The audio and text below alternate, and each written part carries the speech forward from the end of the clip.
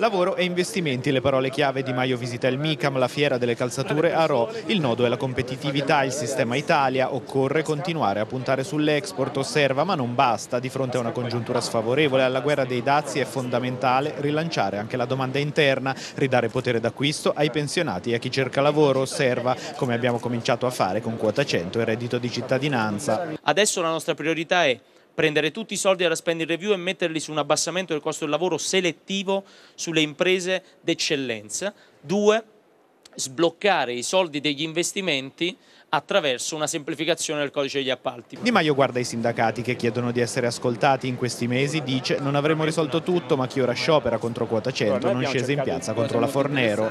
Giovedì vedrà i sindacati di Alitalia a breve annuncia avrete novità sul dossier e sulla TAV ribadisce troveremo un accordo sullo sfondo. La polemica sul ruolo di Banca Italia e Consob, nessun attacco, osserva Di Maio, diciamo solo che chi doveva vigilare non ha vigilato e se ci hanno votato il 4 marzo è proprio per una domanda di discontinuità. Nessun imbarazzo infine per l'incontro con i gilet gialli mi sembra una cosa normale per un partito come il nostro che si prepara alle europee. Spiace che Macron lo viva come lesa maestà.